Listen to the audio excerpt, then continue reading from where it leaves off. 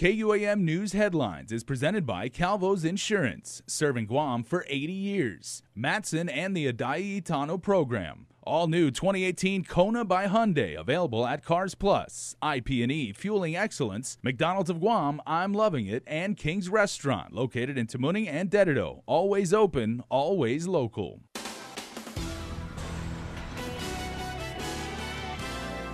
Ahead on prime time, one man is dead after being hit by a car in Harmon early Friday. Plus, the man accused of threatening to go on a shooting rampage after calling it in to 911 appears in court. And oral arguments are heard in the appeal of the now more than $15 million arbitration award owed by the port to the YTK Corporation.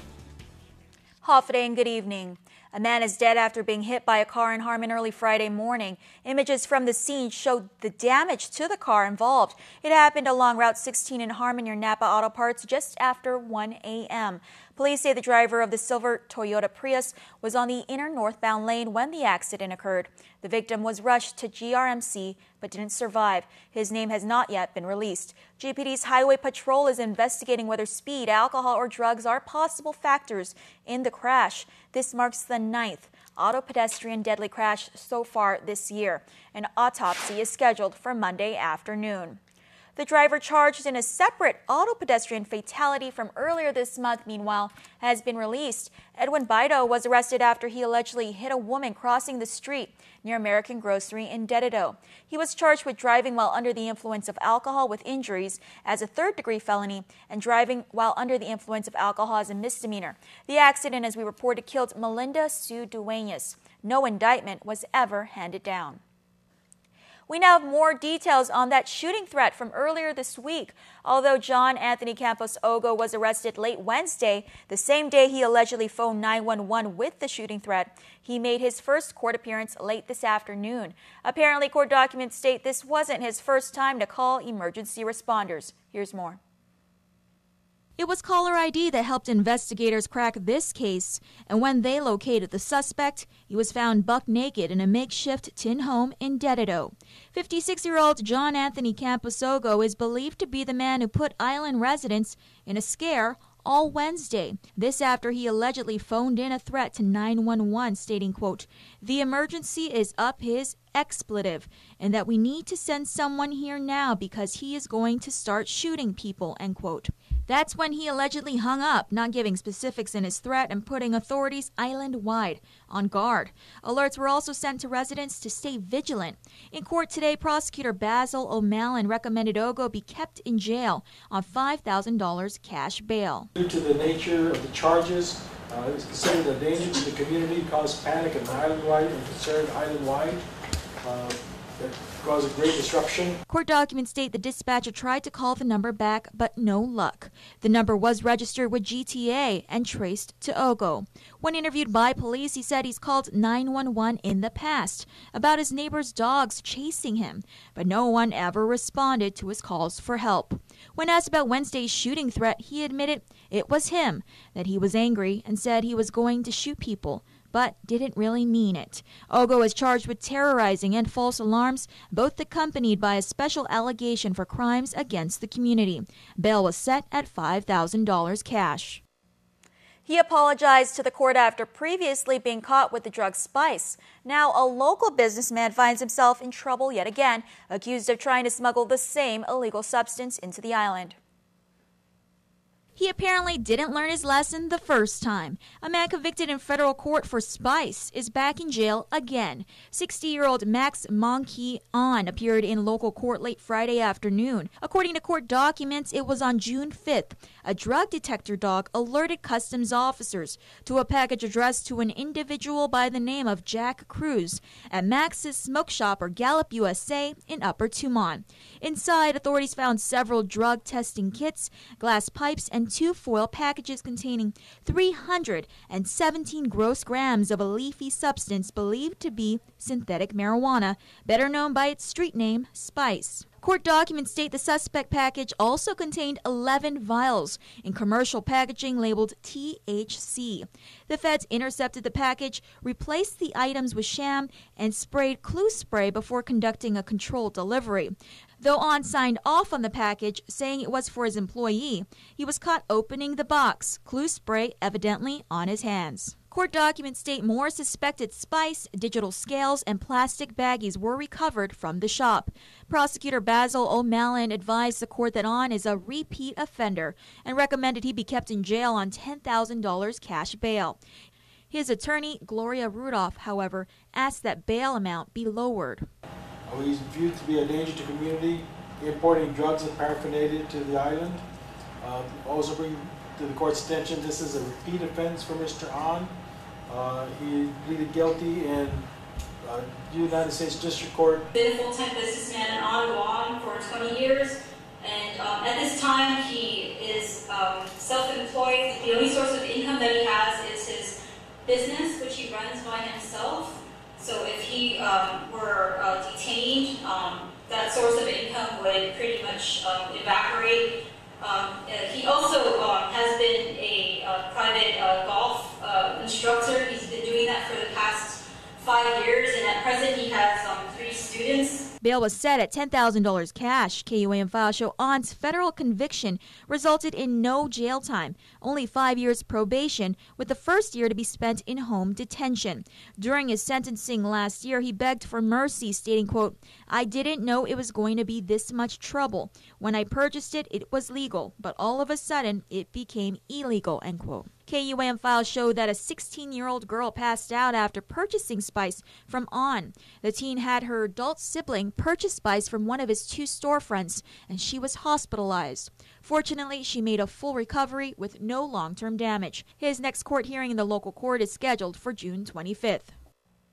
The Guam Supreme Court heard oral arguments today in the appeal of the now more than $15 million arbitration award owed by the port to YTK Corporation. The case involves a lease for Hotel Wharf signed by the parties almost two decades ago.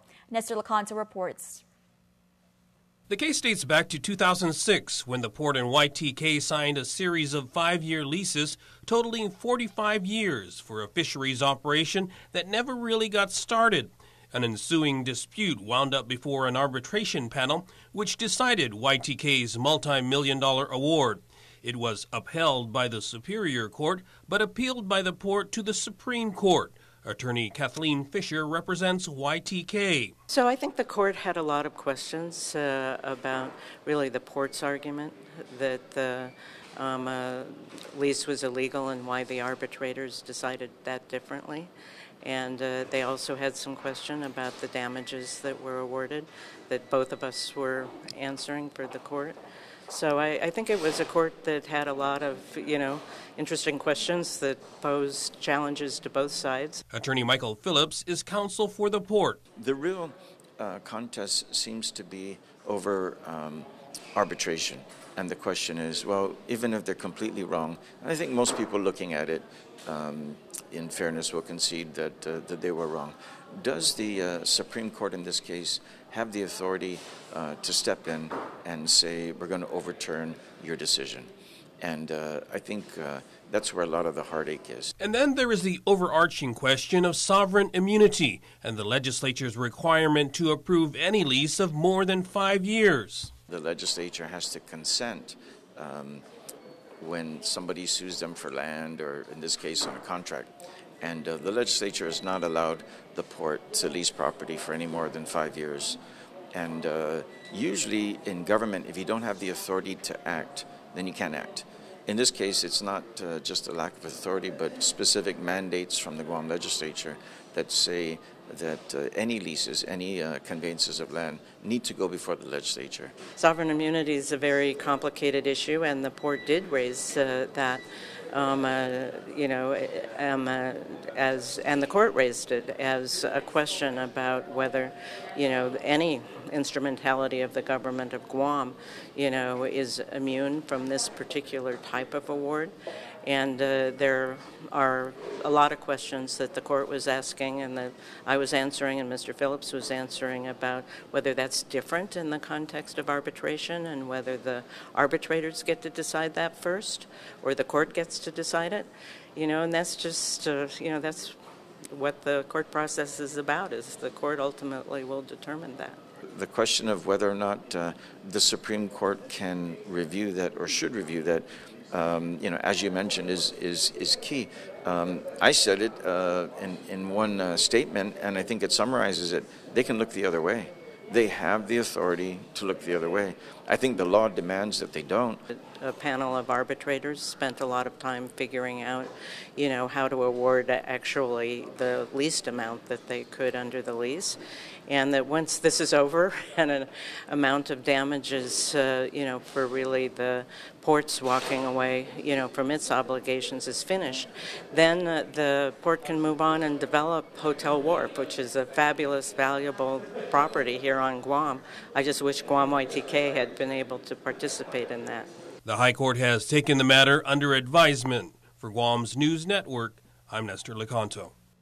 A special investigating committee will begin its review of the Guam Memorial Hospital. Senators passed a resolution authored by Senator Dennis Rodriguez Jr. Thursday night establishing the committee. As reported, the hospital has been scrutinized for a slew of issues and most recently accused by former staff for multiple failures on management's part. GMH leaders have since disputed the allegations made against them. The hospital is also awaiting a response from the Joint Commission on Accreditation regarding its proposed corrective action plan. The Legislative Investigating Committee includes Senators Rodriguez, Mary Torres, Joe Augustine, Mike San Nicolas, and Fernando Esteves. Now, the committee could also investigate the allegations of corruption at the Chamorro Land Trust Commission and the Guam Police Department if proposed amendments to the resolution are approved. The committee is set to hold its first meeting within the next two weeks. Stick around for more news here on Primetime. You're watching KUAM. There are more ways to experience KUAM News than any other source on Guam. Download the KUAM News app for your Apple or Android device for 24 7 news, sports, videos, weather, streaming with KUAM radio, and important news alerts. And stay connected at home with Guam's first app for Apple TV. All available now from the App Store. A simple handshake. That's all Jake Calvo needed when he started his company. Today, 80 years later, we like to say thank you to all of you who have taken our hand in trust. Thank you to the dreamers. Thank you to the realists. Thank you to the family oriented. Thank you to the entrepreneurial. Thank you to those climbing the corporate ladder. And to the ones starting a new life together. Thank you to the traditionalists and the edgy, to the young at heart and the old souls. Thank you to the daring, to the protective, to the practical. Thank you to the hopeful. To all of you from all of us, our deepest, happiest, and infinite thanks. 80 years here for you. 80 years thanks to you. Calvo's Insurance, a legacy of trust. As a nurse, I cared for thousands of patients at their time of greatest need. I know how important it is to have our only public hospital accredited. With your help, Josh and I will change our island's approach to healthcare. We will reduce insurance costs, make sure there are enough beds at GMH, better utilize public health centers, and invest in the latest. We will get the job done. I'm in to help get us there, and I humbly ask for your vote. I'm Lou Leon Guerrero, and I approve this message. It's a celebration at Cars Plus and Maite. And during our Jeep celebration event, you'll save thousands on every new Jeep in stock, like a new 2018 Compass. Save up to 3,750. Or save up to $4,000 on a new 2018 Cherokee. How about a new Renegade? Save up to six grand. Plus, buy today and receive a Cars Plus value card where you get 21 cents off per gallon at all Shell stations. Hurry in for our Jeep celebration event going on now at Cars Plus and Maite. Cars Plus, driven by you. In this divided world, there are still things that unite us great music, thrilling games, and the love for that perfect burger. Ruby Tuesday Guam for the Love of Burgers menu. For a limited time, get an amazing burger for just $11.99. Lunchtime at Ruby Tuesday Guam.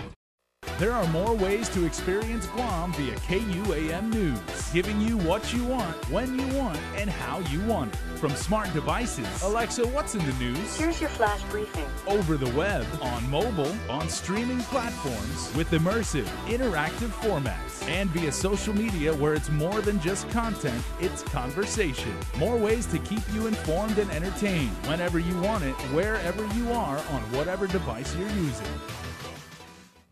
Not accredited yet, but still approved. In a 3 to 1 vote majority rule at the Special Charter School Council meeting, where they renew Guahan Academy Charter School. The Charter School councilwoman and one council member running for senator, a current lawmaker, questions if that decision was legal. Carmen Terlahi reports. The vote was a yes to renew Guahan Academy Charter School, with three members voting in favor and one opposed, including a candidate for Senator Selba Bauta who voted yes to renewal despite the fact that GACS was unable to meet requirements by law that says any charter school needs to be accredited within five years. Some of the takeaways, uh, Madam Chair, that I got out of that public hearing uh, really uh, were, were, concrete information that, um, that really uh, touched me very personally. I'm really torn between the law and, and the successes of, uh, of the Guam Academy Charter School students. Education Oversight Chair Senator Joe San Agustin surprised with the council's decision. Most of the charter school council folks were not in support of any renewal or anything because they were following the law. So how did they renew it? I don't know. Well, you know what? Um, if they think that was their best, their best step forward by renewing something that is against the law, if you're going to be a lawmaker, you, try to follow the law. It's a renewal with stipulations, says Babauta, who is now heading the committee to address GACS accreditation, telling KUAM that Senator San Agustin hasn't supported charter schools, basing his decision for renewal on Dr. Velma Sablan's study of students at GACS that he says prove their success compared to traditional public schools. Senator San Agustin responds I don't want to close any school. And I honestly believe the students have, have um, are getting educated. They're being taught. But it becomes a management issue. Do you think it is reasonable to ask for the charter school to be accredited within five years? Yes, as a matter of fact, I, have spoken to you know you know other DOE schools have gone through that process. Sometimes in the uh, well, well, let's use iLearn for example. In the three years, they got their accreditation. So it is possible. Senator San Agustin is sending a letter to the Attorney General requesting for a legal review. Chairwoman Amanda Blas, who is also running for senator, says the council respects his decision. Blas did not partake in the vote, though she notes her reservations that the vote did not fully comply with charter school law. Reporting for Guamsi's Network, I'm Carmen Victoria Chulahi. The Accrediting Commission for Community and Junior Colleges commends GCC on a job well done, reaffirming accreditation for seven years. GCC was recognized for exemplary performance in assessing student learning, being the only Gov Guam agency designated low risk for 16 consecutive years, innovative initiatives that improve college success, and the President's leadership to pursue grants and build the first LEED Gold certified building. Here's President Dr. Mary Okada.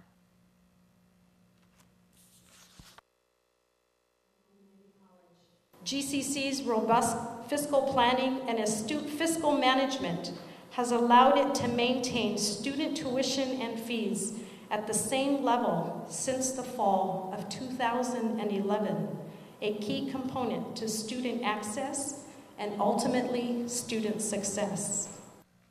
In fact, WASC gave no other recommendations for improving GCC. The midterm report won't be due until March 2022, and the next comprehensive review during the spring term of 2025. The last candidate to visit UOG travels to Guam from Montana. Chosen after a controversial candidate steps out of the race, Dr. Ronald Larson shares his ideas with UOG stakeholders. Here's more. The search for the next UOG president is nearing an end. Dr. Ron Larson is the last of four candidates to visit the Mangilao campus, currently the vice provost at Montana State University in Bozeman. They tend to describe me as a calming influence and as a listener. And um, so you're not going to get drama, uh, but I do not want to see status quo. I want to see movement towards a goal. He believes in gradual change. A main issue in his view, guaranteeing funding for the university. I think the uh, university's challenge is going to be to bring all possibilities to bear. So one is to work very closely with the legislature and the governor and try to um, sustain the funding that is already coming, making sure it actually arrives. Um, but also look at all other sources. Like some of the other candidates, it's his first time to visit Guam, but he says he has the desire to fill the criteria that the next UOG president should have substantial knowledge of Guam's culture and people. My own personal experience is that I, I have a real desire to know about other cultures than my own, and my experience has been with Native American cultures in Montana, but um, I actually kind of looking forward to the opportunity to, to learn a lot about the Chamorro culture adding that UOG is a unique university in its role to develop Guam, sharing his vision. My vision for the university is not particularly relevant. It's finding out what the shared vision is um, of the faculty and the staff and the students and the nation of Guam. Now that all four have made their visit to UOG, the board will be making a decision in the near future.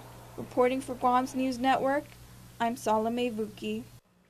The deadline to file war claims is only five days away. So far, Congresswoman Madeline Bordallo's office says more than 2,000 Chamorros have filed. You can file if you are a survivor who lived during World War II, a family member, spouse, child, or a parent of someone killed in the war, or your family member survived the war and passed away recently after the law was passed in December 2016. The Congresswoman's office is open to help the island's manamko fill out that application form. All applications should be post stamped by Wednesday, June 20th. Let the fun and games begin. The Liberation Festival is looking for vendors. Festivities begin July 11th and will continue through the 22nd at the Paseo and the Guam Museum. Food trucks, art, games, and other vendors are welcome. Deadlines for applications are June 25th by 5 p.m. You can also pick up an application at GVB, the Department of Parks and Recreation, or go online. Sports is next, but first, here's your island weather.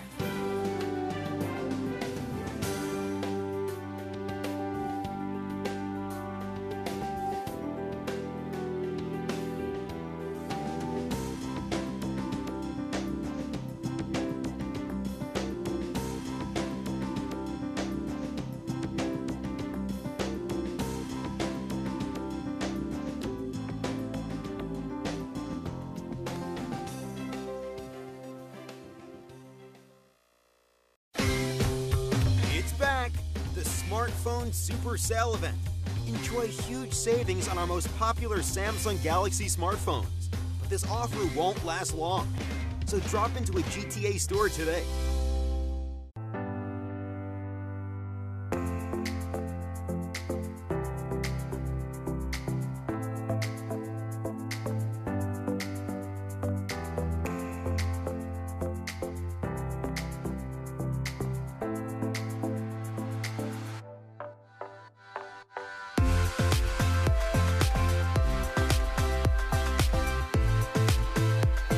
Make every day a plus. We're celebrating our 135th anniversary today, both in the outlying regions on which we hub and also here in Guam itself. It means so much to our team here in Guam. It means a lot to us in the Matson management team because what it says is we're here to stay. It's a real physical manifestation of our commitment to this region. It's so important that we hire locally, we develop talent locally, we train locally. What's been a wonderful addition to our approach there is that many of the people who started off in Guam have gone off into significant leadership roles elsewhere in the company. This is our headquarters here in Guam in Micronesia. And when we talk about putting down our roots, it's not just doing business, it's about everything we do with our friends, our customers, and our employees. I believe that nobody can replicate what we do, and that's why we have such a great team and such a great service and why we're successful. This is our home, this is our life, and we're happy to make a difference in everyone else's life.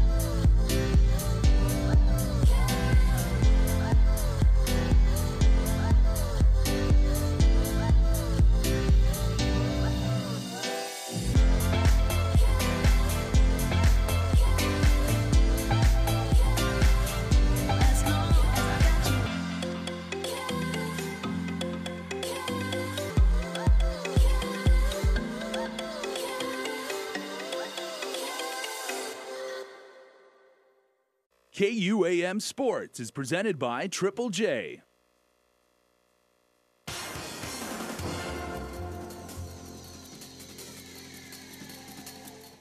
What's up, Guam? Dave Delgado here for KUAM Sports. Thanks for watching. It's Friday, so let's roll on over to Dar Renton in Manila for your Athlete of the Week. Check it out. We're here at Dar Renton for our Athlete of the Week. Today we have soccer standout Cami Pereira. Paul? Cami, congratulations on behalf of uh, Dio Renton. Uh, who would you like to donate this check to? Uh, today I'll be donating the check to Tegan's Breath. It's, um, you know, families who need to get their babies off island. Um, two years ago, my baby godbrother passed away, so that's why I'm donating this check today. Okay, you were born on Guam, uh, raised stateside. How did you get introduced to the sport of soccer? Um, know, my parents put me in all the sports when I was younger, um, and soccer is just the one I wanted to stick with. It was my favorite. It was the one I had most fun. And you've been pretty active playing soccer overseas. So far, I played in Italy, Germany, Korea, and the U.S. And what's the style of soccer out there? Is it more technical, physical? Definitely more technical, less physical, less focus on, um, you know, fitness and having more strength than the opposing team. You know, they're really focused on sticking to their style, um, how they want to play, um, and playing the game that way, win or lose. Um, and so that's what they're focused on. I know academics has uh, been something that uh, you've really focused on uh, besides uh, the sports side. For sure, um, that's what's I'm basing my whole college experience on. I'm going for academics rather than for athletics. I got a bunch of offers from D1 and D2 schools, but in the end, I was like, where do I want to go to school? Where do I want to study? So I will be going to Nova Southeastern University in Florida to study exercise science. Um, I may have an opportunity in the future to play D2 soccer, but um, I chose this school for my academics. What were some of the ultimate uh, deciding factors to you going to school out there in uh, Florida? Definitely the programs for what I wanted to study. I did a lot of research into physical therapy, which is what I want to go into after school. Um, and you know, Nova Southeastern just had the best program for me. Uh, I was able to get into the honors program academically, um, and so that was a huge part. I got a huge scholarship for that. Um, but yeah, school was definitely the driving force of my decision. A bunch of places I got offers from, they didn't even have the program I wanted to study, and I would have to kind of, you know, navigate my way of what, what to major in in order to get to the field I wanted to, and I didn't want to do that. I wanted to have a direct path in, into the profession I wanted to go into, so I chose Nova Southeastern for that reason. And has maybe representing Guam on the women's national team uh, something that has crossed your mind? It definitely has. Um, in the past, I've tried to just keep all my options open, and that's why I haven't gone U.S. or Guam specifically. I just I'm here to have fun. I'm here to train, play hard, um, and I just haven't made a decision yet. But it's definitely something I'm open to in the future. Um, something I look forward to. All right, congratulations. Stay tuned to our next Dar Renton Athlete of the Week. KUAM Sports Athlete of the Week is brought to you by Brogan Walker Sanchez will be stepping into the cage again for Invicta FC on July 21st. Brogan 5 0 in mixed martial arts holds a brown belt in Brazilian Jiu Jitsu. She takes on Miranda Maverick 3 0 as a pro, 6 1 as an amateur. Brogan's last fight in Invicta 27 was a decision win over Sherry Maraski. Miranda Maverick's last win was back in Invicta 24 via unanimous decision over Gabby Romero. Sanchez previously beat Romero back in PXC 49 three years ago. Keep it locked to KUAM Sports as we keep you posted on Brogan's upcoming fight. Well, that's going to do it for sports. We're back right after this. Where will your sip take you?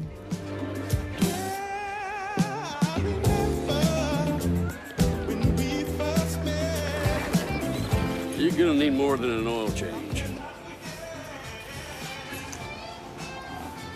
Okay.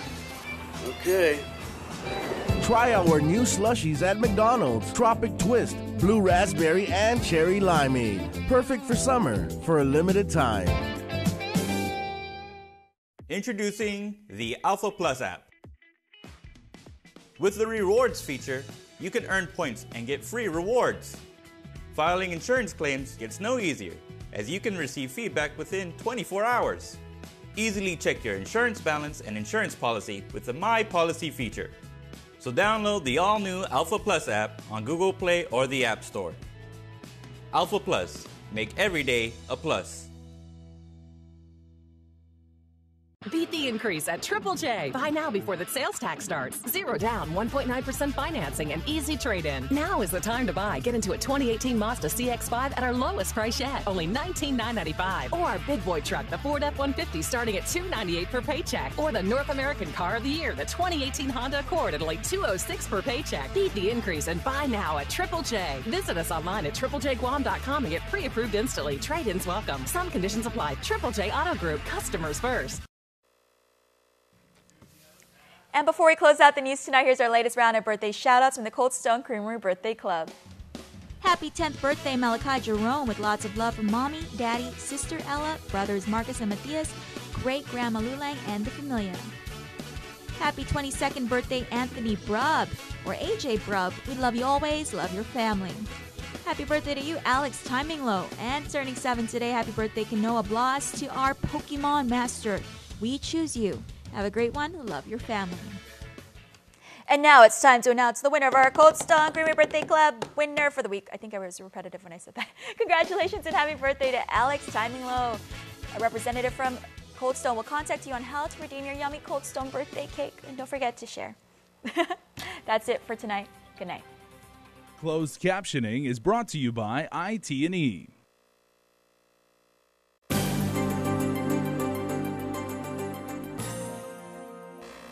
Hafa Adai and hello everybody, Jason Salas here, and tonight we are going to give you your first look at this year's Guam Barbecue Block Party. Cannot wait for that. We're also going to bring in Dr. Arthur Jackson about his biography on his beloved grandfather.